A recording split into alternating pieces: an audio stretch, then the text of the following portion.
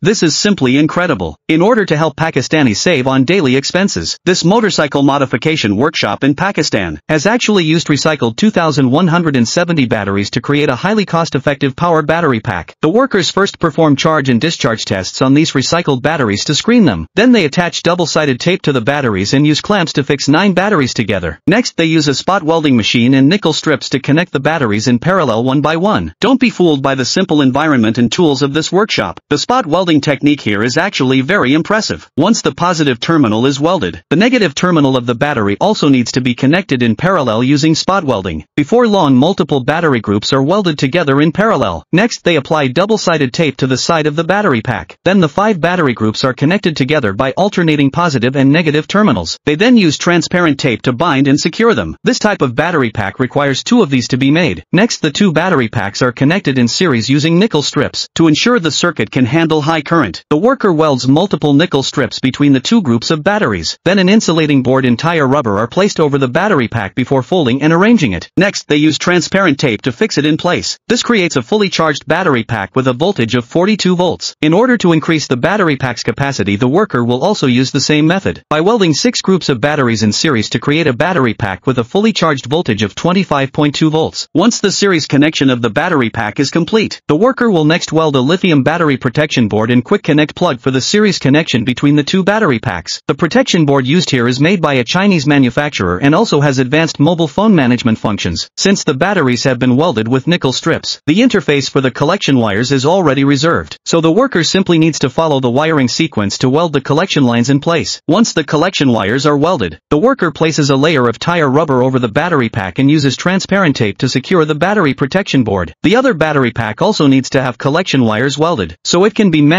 uniformly. Next the two battery packs can be connected in series using the quick connect plugs. To ensure the collection wire connections are correct, the worker tests each of the wiring lines one by one. Once the tests show no issues, the collection wire is plugged into the interface of the protection board. The mobile management software is then opened and the protection board is connected. To check the operation of the battery and verify if the collected voltage is consistent, then the charger is connected to check the battery's charging status. Once all tests are complete the worker carefully wraps the battery pack with plastic film, and uses tape to completely wrap the entire battery pack to ensure it is more resistant to corrosion and moisture. Next the two battery packs are placed in the custom-made battery compartments. The collection wire from the other battery pack is welded onto the reserved wire heads on the protection board. Then an insulating sleeve is applied and the battery pack's tangled wiring is carefully organized. After writing the production date of the battery pack on a piece of cardboard the battery compartment cover is closed. Next the charging port is tested. Once it passes the test the battery pack is ready for installation. The worker installs the battery compartment into the original engine position of the motorcycle and carefully connects the motor controller. Then the motorcycle is powered on for testing. At this point the entire motorcycle power battery pack is complete. So after watching the whole process what do you think of this DIY battery pack?